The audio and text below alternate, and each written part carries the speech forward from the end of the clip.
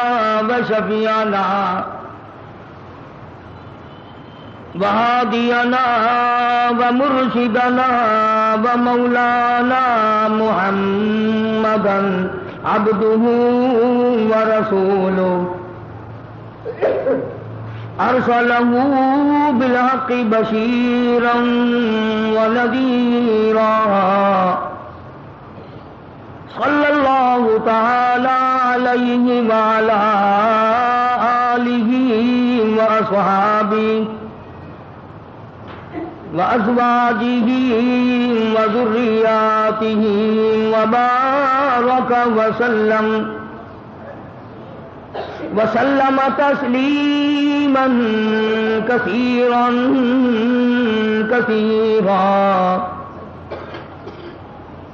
أما بعد فأعوذ بالله السميع العليم من الشيطان الرجيم. بسم الله الرحمن الرحيم. ومنهم من عاهد الله لئن آتانا من فضله لنصدقن ولنكونن من الصالحين. فلما آتاهم من فضله بخلوا به وتولوا وهم مورغون صدق الله مولانا العلي العظيم وبلغنا رسوله النبي الكريم ونحن على ذلك لمن الشاهدين والشاكرين والحمد لله رب العالمين اللهم صل على محمد وعلى آل محمد. كما صليت على إبراهيم وعلى آل إبراهيم إنك حميد مجيد. اللهم بارك على محمد وعلى آل محمد كما باركت على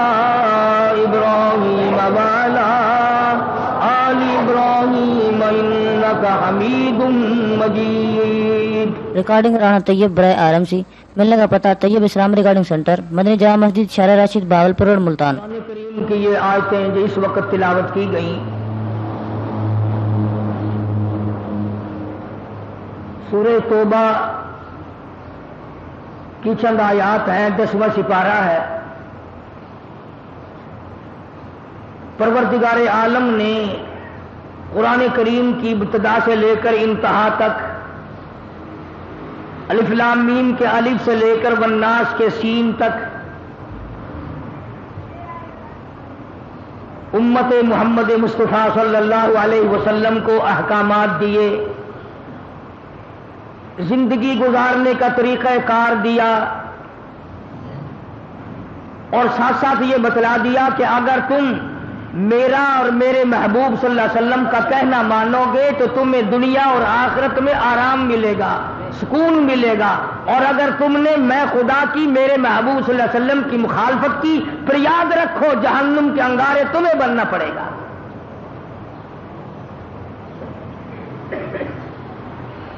تو قرآن کریم میں نماز کا ذکر جا بجا آتا ہے۔ اس کا ہم ذکر خیر اکثر کرتے رہتے ہیں۔ بلا کسی فصل کے ایک دوسرے فرض کا بھی ساتھ ساتھ ذکر آتا ہے۔ واقعی مسفلات و آت زکات ورکا مار راکی نماز قائم کرو اور ادا کرو زکات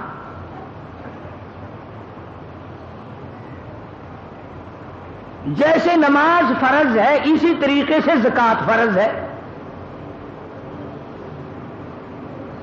اور اس مہینے میں یہ مضمون ایک جمعے کو اس لیے ذکر کیا جاتا ہے تقریباً ہر سال ستائیس برس سے کہ پنجاب اور بعض سندھ کے علاقوں میں بلوچستان اور سرحد میں عموماً رجب کو مہینے کا لوگ زکات کا مہینہ سمجھتے ہیں۔ چنا سے مانگنے اگر کسی کو بھول جائے تو فقیر یاد دلاتے رہتے ہیں زکات کا مہینہ آ گیا زکات دو۔ تو میں بھی ہر سال مناسب سمجھتا ہوں کہ اس اہم فریضے کو یاد دلا دیا جائے۔ تو میں اس کر رہا تھا، جس طرح نماز فرض ہے، وہ معاف نہیں ہوتی، اسی طرح زکات بھی اسی طرح سے فرض ہے۔ جیسے اسلام کے رکن پانچ ہیں، اسلام کی بنیاد پانچ چیزوں پر قائم کی گئی۔ کلمہ طیبہ یعنی توحید و رسالت، نماز زکات، روزہ، حج۔ تو گویا جیسے ہی نماز اسلام کا رکن ہے، اسلام کی بنیاد ہے، اسی طرح سے زکات بھی اسلام کی بنیاد ہے۔ اگر کوئی آدمی زکات کا، نماز کا انکار کرے، کافر بن جاتا ہے، اسی طرح سے زکات کا انکار کرنے والا بھی کافر بن جاتا ہے۔ نماز ادا نہ کرنے والا فاسق و فاجر بن جاتا ہے زکات نہ ادا کرنے والا بھی فاسق و فاجر بن جاتا ہے۔ یعنی نشے قطعی سے دونوں کی فرضیت ثابت ہے اور ایک جگہ نہیں، سینکڑوں جگہ قرآن کریم میں آیا۔ بلکہ ابتدا میں فرمایا ادل للمتقین قرآن کریم کی ابتدا ہو رہی ہے۔ فرمایا الف لام میم ذالک الکتاب لا ریب فیہ۔ اور کلمہ پڑھنے والے، اللہ اور اس کے رسول پہ ایمان رکھنے والے، قرآن کریم کو ہاتھ میں اٹھانے والے، پھر ہاتھ لگانا، پہلے میرا اعلان سن لے، ذالکل کتاب لا ریب بفی جس کتاب کو ہاتھ میں اٹھائے بیٹھا ساری کی ساری سچی ہے۔ ایک مسئلے میں بھی شبہ کوئی نہیں۔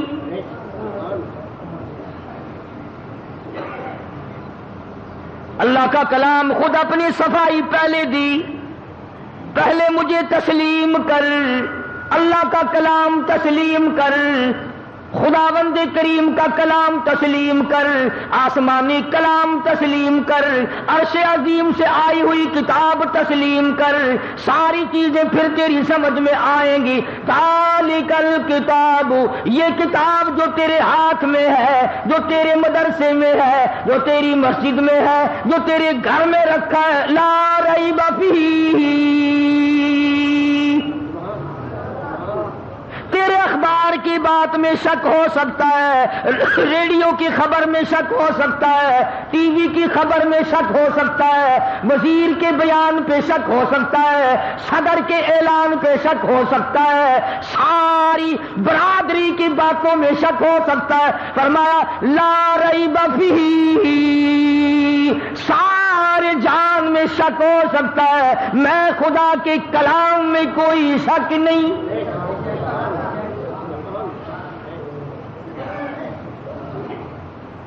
فرمایا، ہاتھ بات کو لگانا، پہلے ایمان بنا، یقین بنا، اپنی طبیعت میں پختگی پیدا کر۔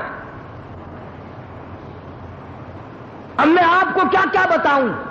جس کتاب کو اللہ نے بچانا تھا قیامت تک جس کو جاری رکھنا تھا، قیامت تک جس کو ساری رکھنا تھا، اس کے ایک ایک لفظ کی، ایک ایک نقطے کی خدا نے خود حفاظت کی اور جن کتابوں کو چاہے وہ آسمان سے آئی تھی، رسولوں پہ نادل ہوئی تھی، پیغمبروں پہ نادل ہوئی تھی، جن کتابوں کو خدا نے باقی نہیں رکھنا تھا، ان کی حفاظت کا ذمہ بھی نہیں اٹھایا۔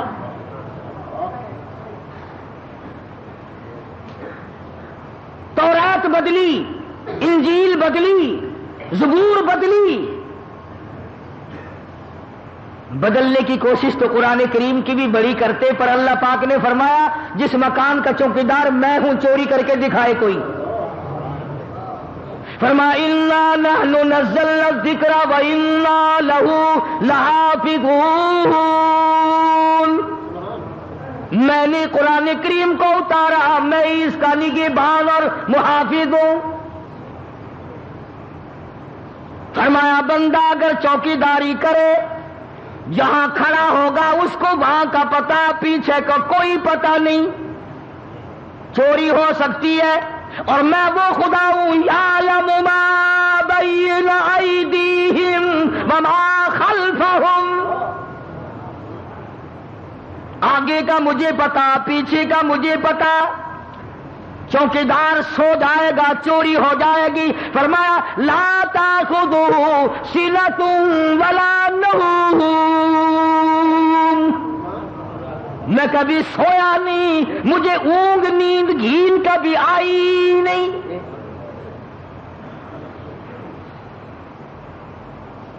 ساری دنیا نے مل کر زور لگایا، قرآن کریم کا ایک نقطہ نہ بدل سکے۔ ورنہ ایک بات ہے، اگر بس چلتا تو اب تک قرآن رہتا، توبہ توبہ توبہ۔ یہ جتنی انگریز کی روحانی اولاد ہے، یہ قرآن کو چھوڑتی۔ نہ جانے کیا کیا طریقہ کار اختیار کرتے، آج بھی قرآن کی آڑ لے کر نہ جانے کیا کیا کر رہے ہیں۔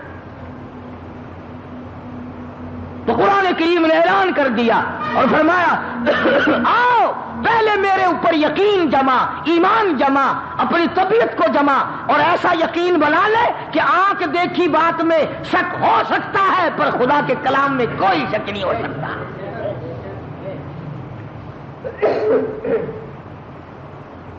الحمدللہ، آج بھی ایسے لوگ ہیں کہ جو قرآن کریم کو ساری کائنات سے افضل سمجھتے ہیں۔ اس کا ادب، اس کا احترام اور اس کی توقیر ان کے دلوں میں ہے۔ اور بے شمار مالداروں کی یہ تمنا ہے۔ بڑے بڑے امیروں کو دعا مانگتے دیکھا، یا اللہ، میرے مال کو قرآن پہ خرچ کرا، کنجری سے بچا۔ یا اللہ، میری دولت کو ڈاکٹروں سے بچا، قرآن کریم پہ خرچ کرا۔ یا اللہ میری دولت کو افسروں سے بچا، قرآن پہ خرچ کرا۔ بے شمار لوگوں کو دعا مانگتے دیکھا ہے۔ تو یہاں فرمایا، ہدل المتقین یؤمنون بالغیب ویقیمون الصلاة ومما رزقناهم ينفقون آگیا زکات کا ذکر، نماز قائم کر اور زکات ادا کر، جو میں نے تجھے رزق دیا ہے۔ سبحان اللہ اللہ پاک کس طرح سمجھا رہے ہیں؟ اپنے بندے کو اللہ پاک جل شان ہو کس طرح سمجھا رہے ہیں؟ فرمایا، میرے بندے، یہ جو تیرے پاس مال ہے، یہ میں نے دیا۔ اگر یقین ہے کہ خدا نے دیا تو پھر خدا کے نام پر کچھ دے۔ فرمایا میں سارا نہیں مانگتا۔ سو میں نے تجھے دیے ہیں۔ ساڑھے ستانوے، تیرے، ڈھائی میرے نام پہ لیا کیونکہ اگر کوئی آپس میں بیٹھ کر یہ بات کہے اور کسی کو کہے کہ بھائی فلاں فرم، فلاں کمپنی میں سو روپے تجھے منافع کے ملیں گے، کیا ڈھائی روپے مجھے دے دے گا؟ کہے گا نا جی میں تو آپ کو پچاس دے دوں گا۔ لگا، نہیں نہیں، میں ڈھائی مانگتا ہوں، سو سو تجھے ملیں گے، مجھے ڈھائی دے دینا۔ میں نے کہا جی قسم اٹھوا لو، ضرور دے دوں گا۔ یہی حالت اللہ کی ہے۔ ہم بندے اللہ کے، مال اللہ کا، جان اللہ کی، مکان اللہ کے، دکان اللہ کی، زمین خدا کی، آسمان خدا کا، تمام نظام کائنات خدا کا۔ اگر وہ سو دے کر ڈھائی مانگ لے تو کیا کفر ہو گیا؟ مگر ہم بندے ہیں، ان ساڑھے ستانوے پہ تو نظر پڑتی نہیں، ڈھائی پہ نظر پڑتی ہے، یار ببال آ گیا۔ ٹیکس ادا کرنا پڑ گیا۔ اس پہ نظر نہیں پڑتی ہماری۔ تو قرآن کریم نے للکار کیا باز دیوا کی مسلاتا و آت زکاتا ورکاؤ مارا کی نماز قائم کر، ادا کر زکات۔ اور جو میں نے آیتیں پڑھی ہیں، ان کا شان نزول پہلے سن لیں کہ یہ آیتیں کس وقت نازل ہوئی، کس طرح نازل ہوئی، کس موقع پہ نازل ہوئی، کیوں نازل ہوئی۔ سارے قرآن کریم کا شان نزول ہے۔ حضور کریم سب کہہ دو، صلی اللہ علیہ وسلم کی ذات اقدس ہے۔ صحابہ غرابا کی جماعت ہے۔ اشار بڑا صحابہ کرام میں۔ اس سے بڑھ کر کیا اشار ہوگا صحابہ میں؟ کہ ایک آدمی کو خبر ملی کہ میرا چچا زاد بھائی جنگ میں زخمی پڑا ہے۔ میدان جہاد میں زخمی پڑا ہے۔ کئی زخم ہے اور آخری وقت ہے اور پانی مانگتا ہے۔ پانی مانگ رہا ہے۔ وہ مشکیزہ لے کے دوڑا۔ میں اپنے بھائی کو جا کے پانی پلاؤں۔ اندازہ لگاؤ، اپنے گرے بان میں جھانکو، اپنا نام امال چیک کرو، اپنا مثل معائنہ کرو، اپنے ریکارڈ کو دیکھو اور صحابہ کرام کو بھی دیکھو کہ کالی کملی والے کے غلام کیسے لوگ تھے۔ یہ دوڑا دوڑا گیا، تلاش کیا بھائی کو، آخری وقت ہے۔ یوں مشک میں سے گلاس میں پیالے میں لے کے پانی اس کی طرف بڑھایا جو زخمی تھا۔ اندازہ لگا موت کی پیاس ہے، آخری وقت ہے۔ برابر میں ایک اجنبی صحابی، دوسرا مسلمان صحابی زخمی پڑا ہے۔ اس نے پانی دیکھا، پیالہ دیکھا، مشکیزہ دیکھا، کہنے لگا اللہ والو، اگر ایک گھوٹ سائی مجھے بھی دے دینا، میں بھی اپنا حلق گیلا کر لوں گا.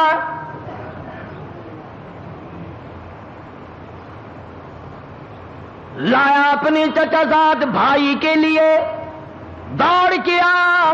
پانی پلانے آیا، اس کا آخری وقت ہے، کتنی شدت کی پیاس ہوگی۔ جب برابر والے نے آواز دی، ایک گھوٹ مجھے بھی دینا، جس کا آخری وقت ہے، جس نے پانی مانگا ہے، جس کے لیے پانی آیا۔ اشارہ کر کے کہتا، میرا اللہ مالک ہے، اس کو پہلے پلا۔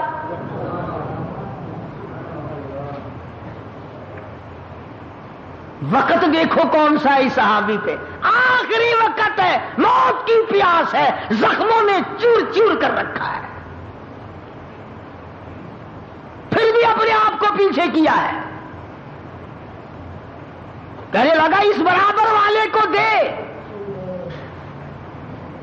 اور توجہ ہو تو بات خدا کی قسم لکھ کے لے جاؤ۔ بال بچوں کو بھی سنایا کرو، حکایات صحابہ میں تمام یہ چیزیں موجود ہیں۔ جب اس کے پاس پانی کا پیالہ گیا قریب تھا کہ وہ پیے۔ تیسرے نے آواز دی، بھائی دو چار بوند اگر زائد ہو، ہمیں دینا بھائی۔ اگر ایک آدھ گھوٹ زائد ہو، تو مجھے دینا، میں بھی حلق گلا کر لوں گا۔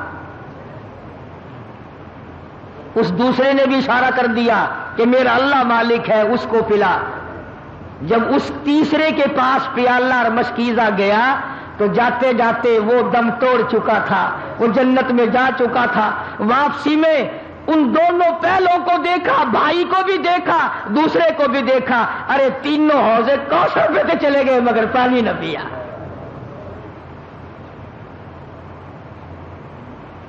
کون اتنی ہمدردی دکھائے گا؟ کون ایسا اشار کرے گا؟ کون ایسی قربانی کرے گا؟ ارے ہم نے تو قسم کھا رکھی ہے آپس میں ایک دوسرے کا چمڑا ادھیڑنے کی۔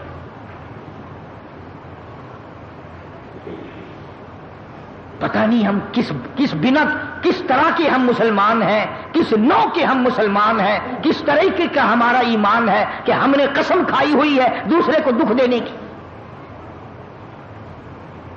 اسی کو شیخ اتار رحمت اللہ علیہ فرماتے ہیں، خاطر کسر مرنگ جا اے پسر۔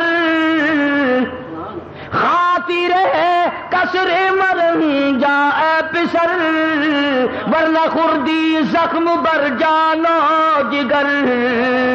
اور کسی کو نہ ستایا کر، کسی کو دکھ نہ دیا کر، کسی کو پریشان نہ کیا کر، کسی کی روزی پہ لات نہ مارا کر، ایسا نہ ہو کہ تجھ پہ تیر چل جائے۔ اللہ والے کی بات دلوں پہ لکھ کے لے جاؤ۔ شیخ تار فرید الدین رحمت اللہ علی ولی کہتا ہے، کہتا قوت نیکی نداری بدمکن۔ قوت نیکی نداری بدم کن بر وجود خود ستم بے حدمکن اگر نیکیوں کی طاقت نہیں ہے، تو بدیوں سے تو بعد آ جا۔ اپنے آپ کو کیوں جہنم کے لیے تیار کر رہا ہے؟ میں نے عرض کیا تھا کہ جو آیتیں میں نے تلاوت کی ہیں، ان کا ایک خاص شان نزول ہے۔ صحابی ہے حضور اکرم صلی اللہ علیہ وسلم کا۔ غریب صحابی ہے، سالبہ نام لکھا مفسرین نے رضی اللہ عنہ۔ سرکار کے دربار میں آیا۔ حضور کی منت کرنے لگا، عرض کرنے لگا، کالی کملی والے صلی اللہ علیہ وسلم میں غریب ہوں، میرے لیے دعا فرماؤ۔ کائے کی دعا، اللہ مجھے مال دے، میں زکات دیا کروں، جنگ آئے تو اس میں چندے دیا کروں، جہاد آئے تو اس میں لشکر کی امداد کیا کروں، بیواؤں پہ خرچ کروں، محتاجوں پہ خرچ کروں، یتیموں کی کفالت کروں۔ آپ میرے لیے دعا فرما دے، اللہ مجھے امیر بنا دے دولت مند بنا دے۔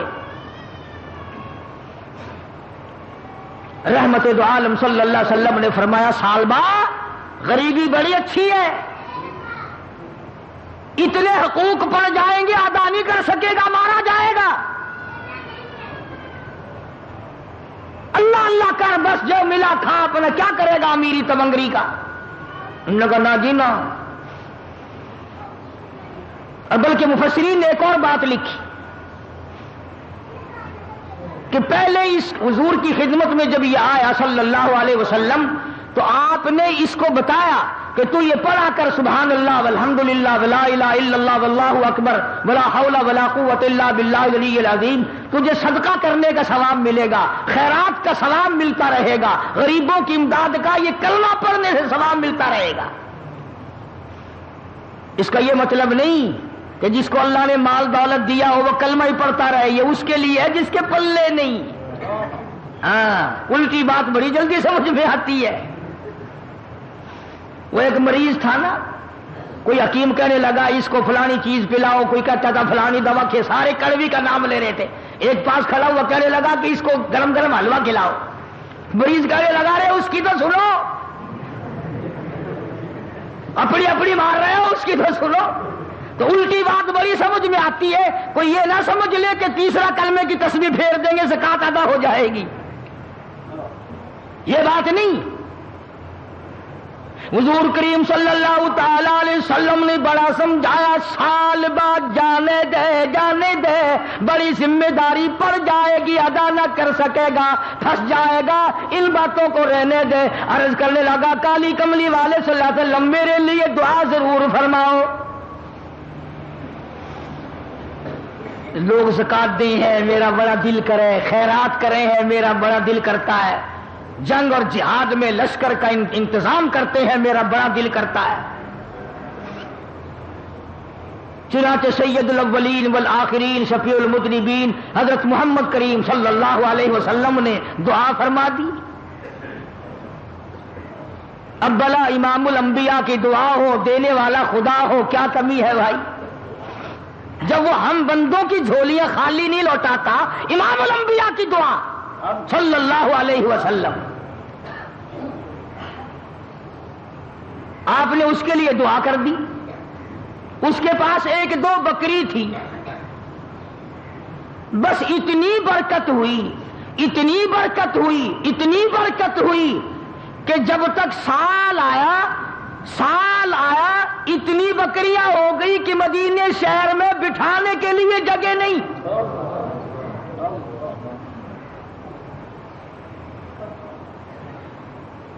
اور مال کا یہ خاصا ہے ویسے دولت کا۔ ہمارا بھی تجربہ ہے۔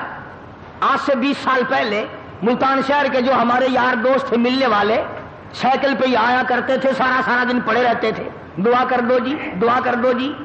اب ہم یہ تو نہیں کہتے کہ ہم بزرگ ہیں تو ہم نے بھی دعا کی، اس نے بھی کی۔ اللہ نے سکوٹروں پہ چڑھا دیے، پھر دعا کرائی، پھر کاروں پہ چڑھا دیے، مل ملاقات ہی بند ہو گئی۔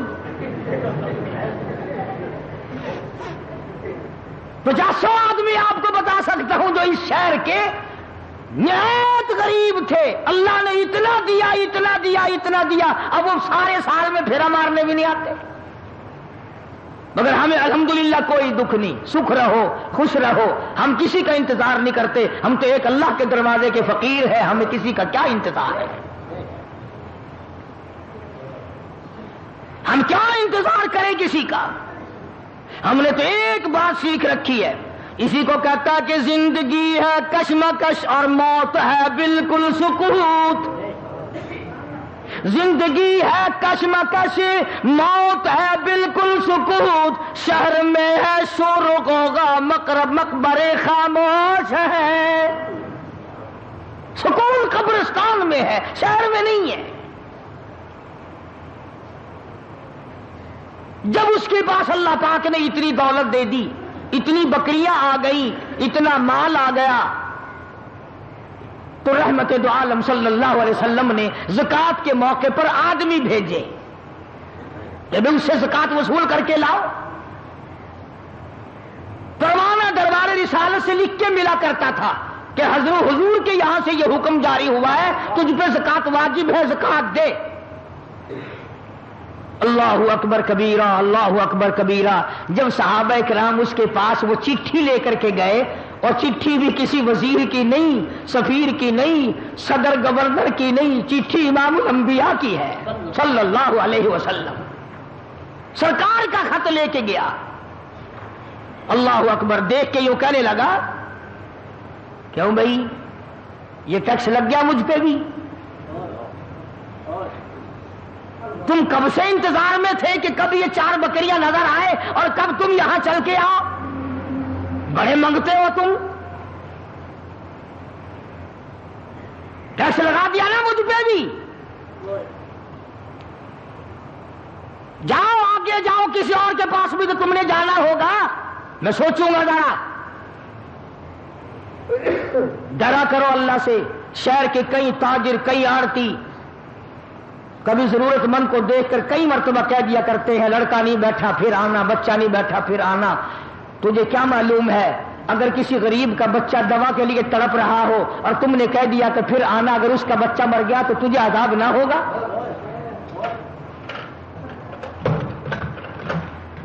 تمہیں یہ طریقہ بتایا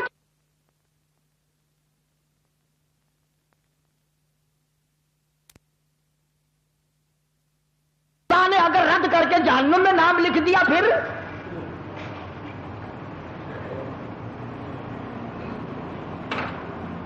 صحابی نے یہ جواب دیا کہ اور کسی کے پاس بھی تو تم کو جانا ہوگا، چلے جاؤ، واپسی میں آنا، ذرا سوچیں گے ہم۔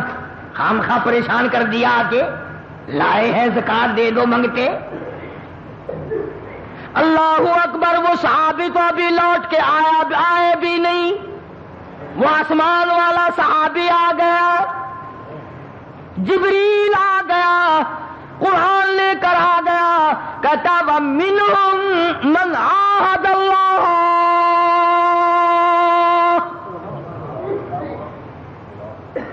وہ من من آد اللہ۔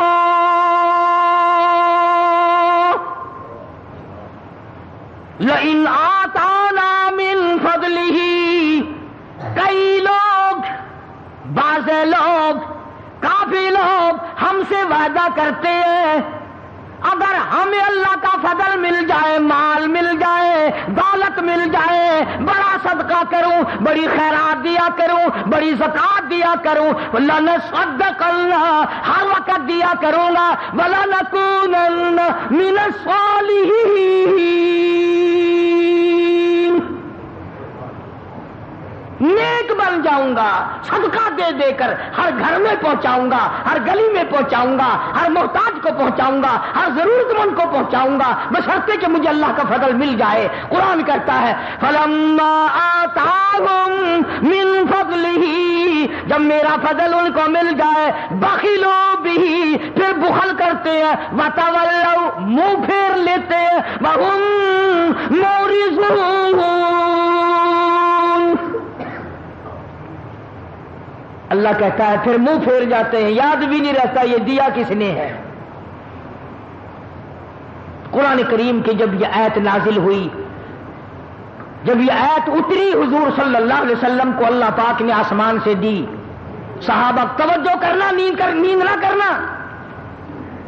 ڈرا کرو ہر وقت اللہ کے قہر سے۔ صحابہ کا مجمع بیٹھا تھا۔ ابھی وہ نہیں آئے جو زکات لینے گئے تھے۔ جن کو آپ نے بھیجا تھا وہ لوٹ کے ابھی آئے نہیں۔ قرآن پہلے آ گیا۔ صحابہ کا مجمع بیٹھا۔ ہے آپ صلی اللہ علیہ وسلم نے فرمایا، سال بعد تو ہلاک ہو گیا۔ او سال بعد تو مارا گیا۔ میں تجھے پہلے کہتا تھا، تو نہ سمجھا، تیری بربادی ہو گئی، تیری تباہی پھر گئی، تو ہلاک ہو گیا، تیرا کٹھ نہ رہا۔ صحابہ کا آپس میں رضوان اللہ تعالی علیہ مجمعین بڑا پیار تھا۔ ابھی وہ نہیں آئے جو لینے گئے تھے۔ جب حضور صلی اللہ علیہ وسلم کی زبان سے سالبہ کا نام سنا، ہلاکت کا نام سنا، بربادی کا نام سنا، تباہی کا نام سنا، صحابہ کے جگر پھٹ گئے۔ اور مارے محبت کے یہاں سے کئی دوڑے ہیں صحابہ اٹھ کر۔ تو سالبہ کو جا کے کہا، او خدا کے بندے، کیا کر دیا؟ ہم سرکار کی زبان سے سن کر آئے ہیں۔ قرآن تیرے بارے میں نازل ہو گیا۔ تو نے کیا تباہی پھیر دی؟ کیا بربادی کر دی؟ کیا ہلاکت مول لے لی؟ اور کیا ظلم کر لیا؟ کیا گناہ کر لیا؟ ہم حضور کی زبان سے سن کر آئے ہیں۔ تیری بربادی کا قرآن میں اعلان ہو گیا۔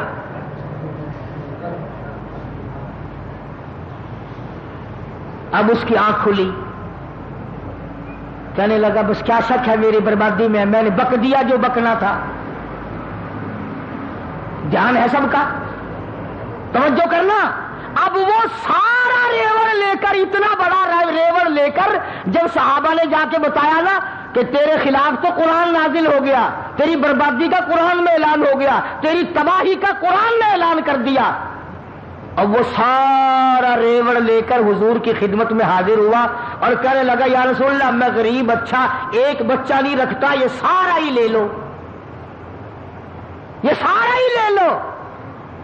باوجود رحمت للعالمین ہونے کے، باوجود اس کے کہ سگے چچا کے کھوپڑی میں شراب پینے والی کو معاف کر دیا، گیارہ ٹکڑے کرنے والے کو معاف کر دیا، مگر اس کو فرمایا میں تیرا ایک بچہ نہیں لوں گا، میرے اللہ نے تیرا ایک بچہ بکری کا لینے سے یہ منع کر دیا ہے۔ کیوں؟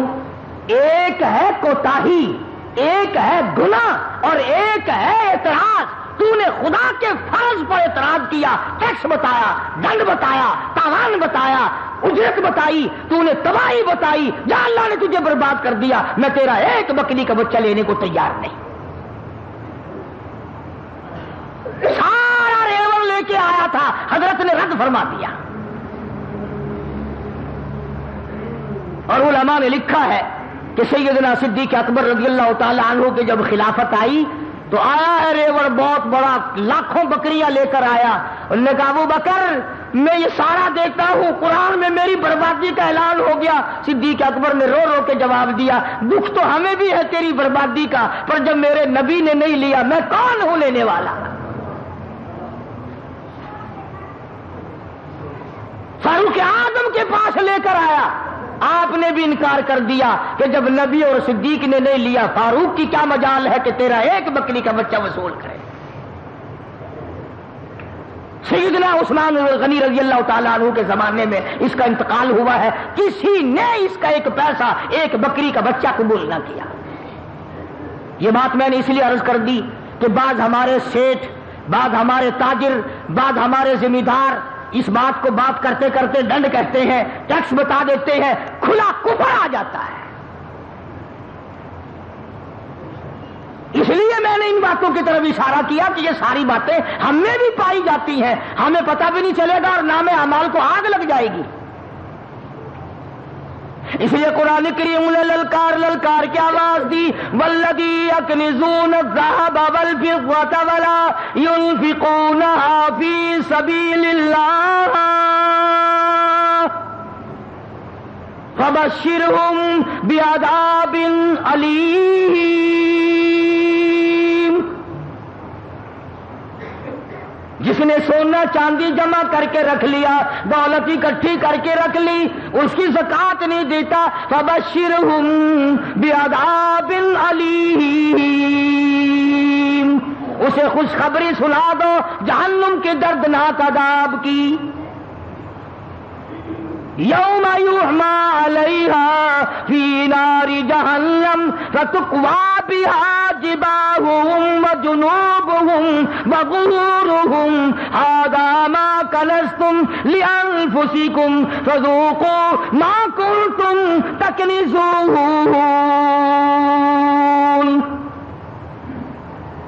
فرمایا، اسی دولت کی، اسی مال کی تختیاں بنا کر جہنم میں گرم کر کر کے پیٹھ پہ، پسلیوں پہ پشانیوں پہ داغ دیا جائے گا۔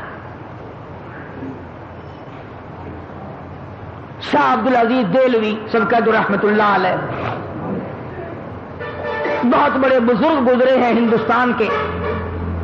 ان کے زمانے میں دلی شہر میں کوئی امیر آدمی تھا۔ تھا بڑا کنجوس۔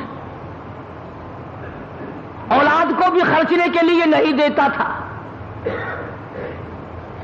دنیا میں لوگ اصل میں رہی دو قسم کے گئے۔ یا کنجوس یا پھر فضول خرچ۔ درمیانہ روی لوگوں نے چھوڑ دی کہ نہ کنجوسی ہو اور نہ اتنا اڑاؤ کہ کل کو گاڑی کے نیچے لین پہ سر رکھنا پڑے۔ کئی لوگ مر جاتے ہیں کہ دینا ہے کہاں سے دیں؟ چلو میاں، سر اڑا دو، اپنا خیر چل رہا کہاں اتنا خرچ کرتے ہو؟ تو اگر شاہ صاحب کے زمانے میں آدمی تھا، کنجوس تھا، بیٹے کو خرچنے کے لیے نہیں دیتا تھا۔ آخر مرتے تو لوگ اس زمانے میں بھی تھے فانی ہے جان سارا۔ موت آ گئی۔ بیٹے نے غصے میں آ کر وہ جو اشرفیوں کا تھیلا تھا، ابا کے ساتھ قبر میں رکھ دیا۔ میرا زندگی میں تم نے ہم کو خرچنے کے لیے نہیں دیا۔ دفاع ہو جاؤ، اپنی دولت ساتھ لے جاؤ۔ اب ہم بھی تمہاری دولت کو نہیں لیتے، ساتھ ہی لے جاؤ۔ چڑ گیا بیچارا بیٹا، وہ تھیلا بھر کے اشرفیوں کا قبر میں ساتھ رکھ دیا۔ مولانا تھانوی رحمت اللہ علی نے لکھا ہے کہ کئی دنوں کے بعد بیٹا اور زیادہ تنگ ہو گیا۔ غریب حالت تھی۔ ایک دن رات کو لیتے لیتے دل میں خیال آیا کہ باپ نے تو دیا ہی نہیں خرچ کرنے کے لیے۔ تو ان سے تو نے کون سی عقل مندی کی ہے جو تھیلا بھر کے وہاں رکھ دیا؟ اب تو کام آ جاتا نا، اب تو خرچ کر لیتا۔ خم خم قبر میں رکھا ہے۔ تو خود ہی دل میں آیا کہ قبر میں سے کون سا کوئی نکال کے لے گیا۔ اب نکالنا۔ تو خود ہی پروگرام بنایا، رات کا وقت تھا۔ کسی اٹھائی اور جا کے قبر کھود لی ابا کی۔ جب لہد کھولی تو لکھا ہے کہ اشرفیوں کی تھیلی بھر کے رکھ کے آیا تھا، مگر جب جا کے دیکھا، روشنی کی اندر ٹارچ جلائی یا کسی چیز سے روشنی کی، دیکھتا کیا ہے کہ وہ تمام اشرفیاں پیر سے لے کر سر تک سارے بدن پہ ستاروں کی طرح ٹکی ہوئی ہے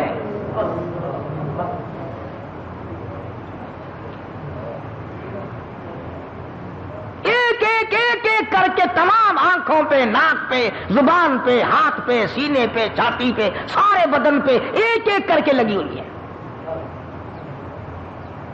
تو وہ کہتا ہے کہ میں نے ایک اشرفی اتارنے کے لیے یہ دو انگلیاں لگائی۔ کہتا بس اتنی آگ لگی، بڑی مشکل سے قبر پوری کی، چھوڑ کے آ گیا۔ ساری رات دہی میں انگلیوں کو ڈبویا، دواؤں میں رکھا، مگر چین نہیں پڑتی تھی۔ ایک دن گزرا، دوسرا دن گزرا، بڑے دم درود کرائے، بڑی دوائیں کی۔ اب بتاؤں شرم کے مارے کسی کو نہ، ابا کا یہ حال ہے۔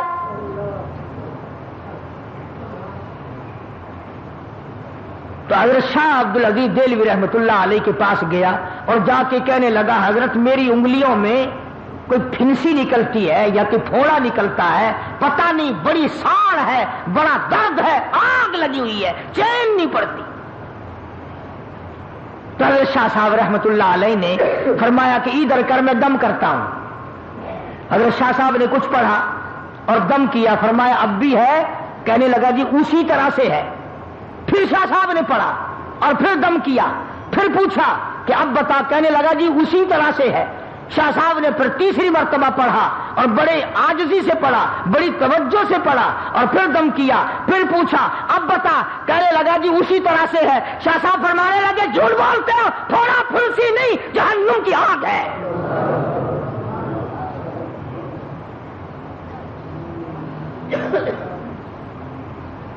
تھوڑے پھلسی کا درد نہیں ہے، آج جہنم کی آگ ہے، نہیں بجھے گی۔ اب وہ رونے لگا۔ شاہ صاحب کے سامنے کھل گیا، کہنے لگا، حضرت ایسے ایسے ہوا، واقعی جہنم کی آگ ہے۔ تو یوں فرمایا، اللہ اکبر، یوں فرمایا، ساری دنیا میں پھر لے، یہ آگ بجھنے والی نہیں۔ سمندر کے پانی سے نہ بجھے گی، دریا کے پانی سے نہیں بجھے گی، نہروں، ندیوں، نالوں کے پانی سے نہیں بجھے گی کنو کے کنو کے پانی سے نہیں بجھے گی، دواؤں سے نہیں بجھے گی، کسی چیز سے نہیں بجھے گی۔ اگر شاشا فرمانے لگے، جا مسجد میں چلا جا، وضو کر، دو رکعت نماز ادا کر، اس کے بعد اللہ کی حضور میں بیٹھ کے رو لے، اور جو آنکھوں سے آنسو نکلے، وہ یہاں مل لینا آنسو سے جہنم کی آگ بجھ جاتی ہے۔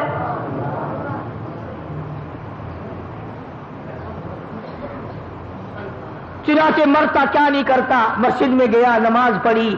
اور بڑی توجہ سے رویا، بڑی توجہ سے رویا۔ جو آنسو نکلے، وہ انگلیوں پہ مل لیے۔ شاہ صاحب کی خدمت میں آ کے کہنے لگا، اللہ کے ولی، تیری بات سچی ہے۔ حضرت شاہ صاحب فرمانے لگے، میری بات نہیں، امام الانبیاء محبوب کبریا، حضرت محمد مصطفیٰ صلی اللہ علیہ وسلم نے فرمایا، رویا کرو جہنم کی آگ کو آنسو بجھا سکتے ہیں۔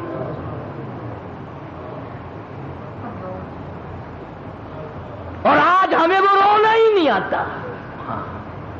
کھا لیں گے، پی لیں گے، پہن لیں گے، نہا لیں گے، دوڑ دھوپ کر لیں گے، لیٹ لگا لیں گے، بکواس کر لیں گے، لیکن رونا اٹھ گیا۔ وہ رونے والے لوگ چلے گئے۔ ابن عباس رضی اللہ تعالیٰ نما اتنے روئے، اللہ کے خوف سے اتنے روئے، آنکھیں کھو دی۔ نابینا ہو گئے، رو رو کر۔ ڈاکٹروں، حکیموں نے کہا، ہم آنکھیں ٹھیک کر دیں گے، مگر تین دن تک سجدہ کرنے کی اجازت نہ ہوگی۔ ابن عباس نے بیت اللہ میں کھڑے ہو کر اعلان کر دیا، مجھے ان آنکھوں کی ضرورت نہیں جو مجھے اللہ کی سجدے سے ایک دفعہ بھی روکے۔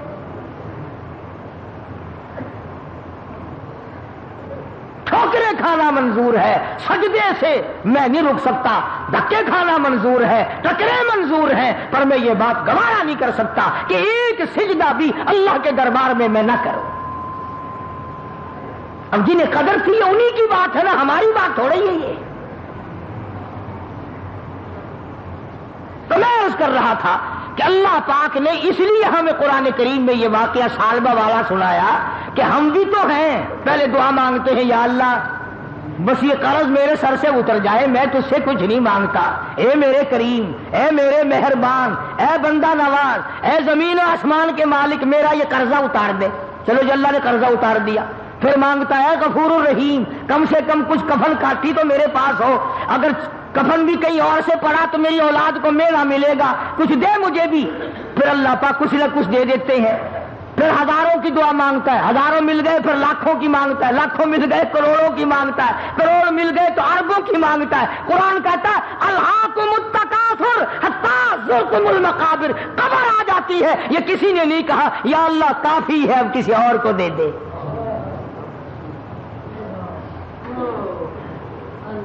یوں کوئی نہیں کہتا کہ یا اللہ مجھے کافی ہے، کوئی ایسا بھی ہوگا کہ جس کی بچوں پہ روٹی نہیں ہوگی، تو اس پر کریمی کر دے اب۔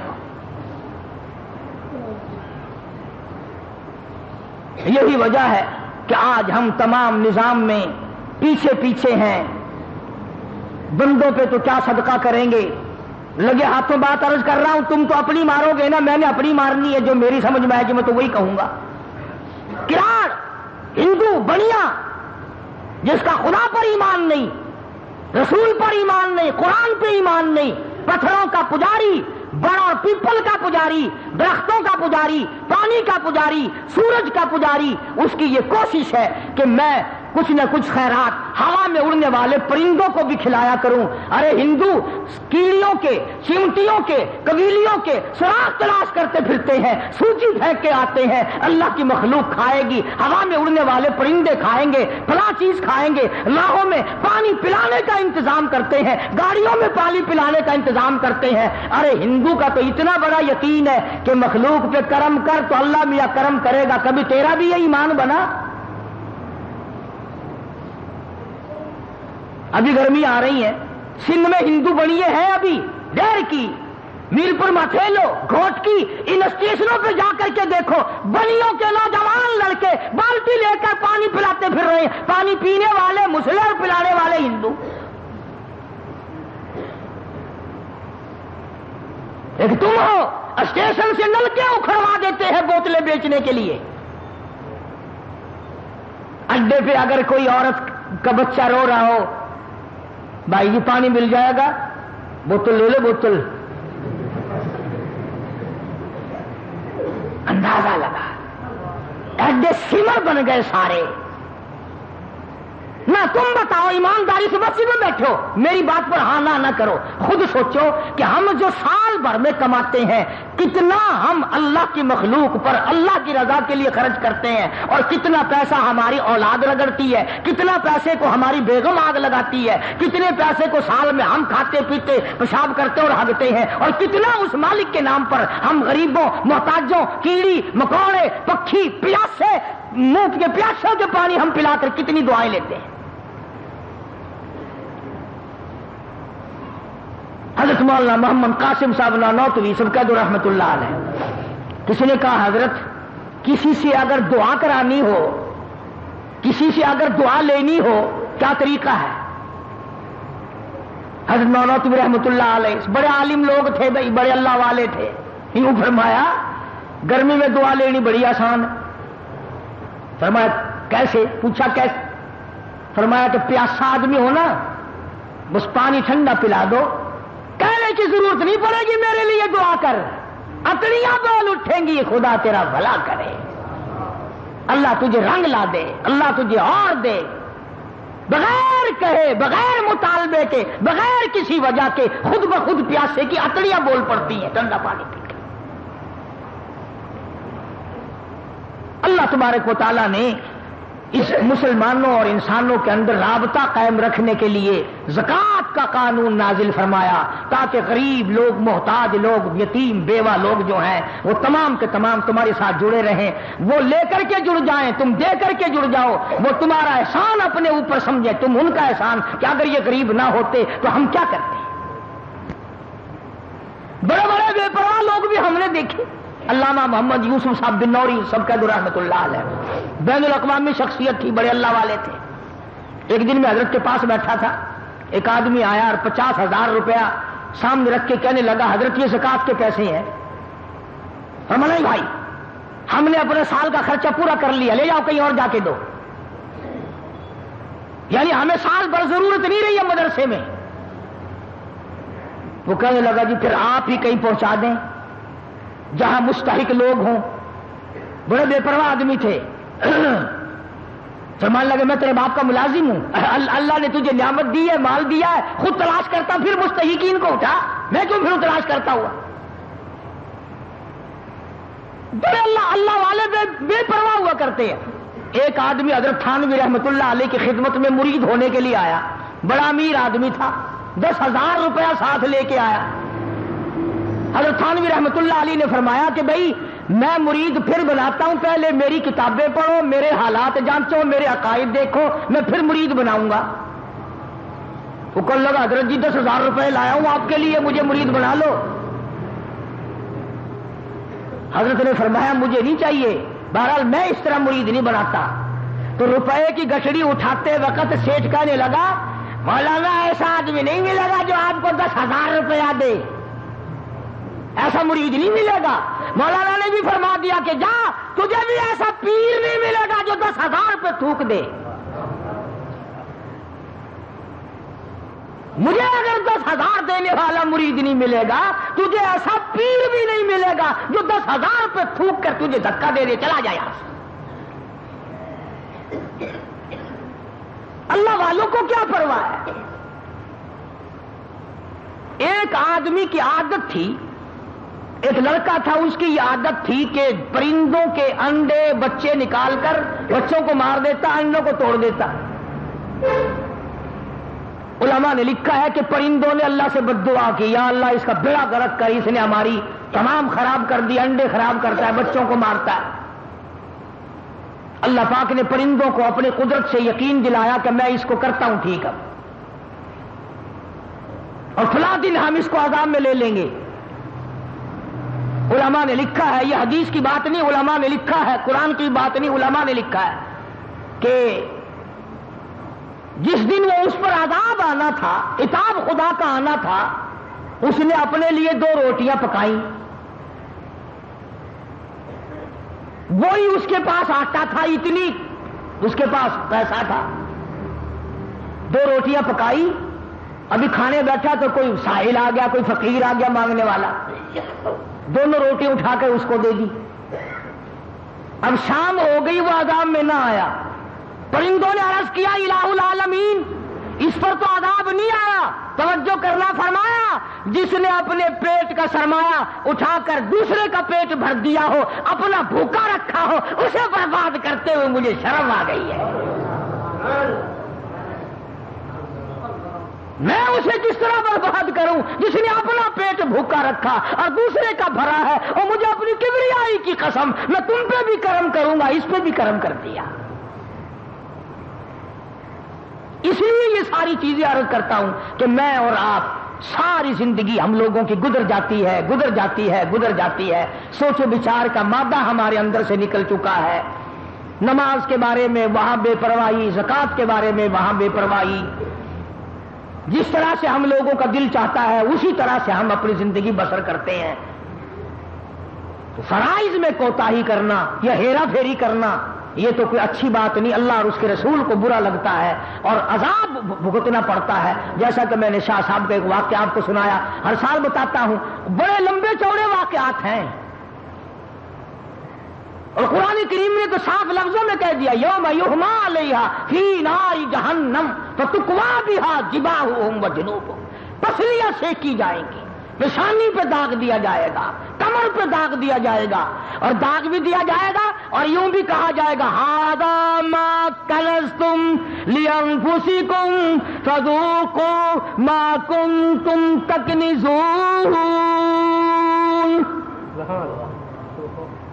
یہ وہی تیرا مال ہے جس پر رات دن سانپ بن کے بٹھ بیٹھا رہتا تھا۔ ہر وقت گنا کرتا تھا، ہر وقت سنبھالا کرتا تھا، اتنا ہو جائے، اتنا ہو جائے۔ اس لیے میں نے یہ مضمون عرض کر دیا کہ جو لوگ رجم میں زکات نکالنے کے عادی ہیں، ان کی اس طرف توجہ ہو جائے اور اس اہم فریضے کی طرف توجہ کر لو اور ایک آخری چھوٹی سی آسان سے صورت بتاتا ہوں۔ آج کل کاروباری حالات بھی، دنیا کے معاملات بھی ایسے ہی ہیں کہ یکدم آدمی لاکھ بنے یا ہزار بنے یا سو بنے یا پچاس بنے، بڑا مشکل ہو جاتا ہے۔ آسان سی ترکیب یہ ہے کہ آدمی اللہ کے نام پر زکات کی نیت سے جب دے تو اسے لکھ لے۔ جب بھی کوئی ضرورت مثال کے طور پر سردی ہے، ایک بیوہ کو آپ نے رضائی دینی ہے، ایک غریب محتاج کو آپ نے کوئی چیز دینی ہے، اس کو اس کتاب میں لکھ لو کہ میں نے زکات کے نام پر اتنا پیسہ دے دیا۔ اور پھر جب وہ دن آئے، سال کا ایک دن مقرر کر لو کہ فلاں تاریخ کو میں نے چکانا ہی چکانا ہے۔ اگر نہیں کرو گے، ڈھیل پڑتے پڑھتے پڑھتے پڑھتے، اگلا سال آ جائے گا۔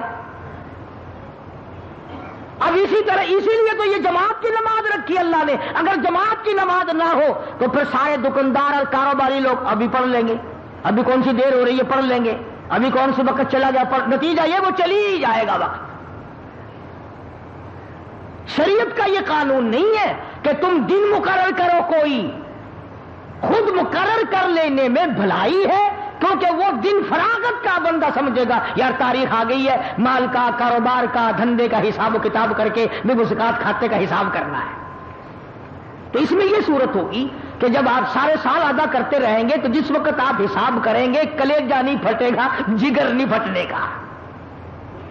پچاس ہزار روپیہ اگر دینا ہے، اب یک دم اللہ نام پر پچاس ہزار۔ شیشن جج کو، افسر کو، ڈاکٹر کو تو دیا جا سکتا ہے۔ اللہ کو پچاس ہزار کون دے بھائی؟ مرنا جائے بندہ۔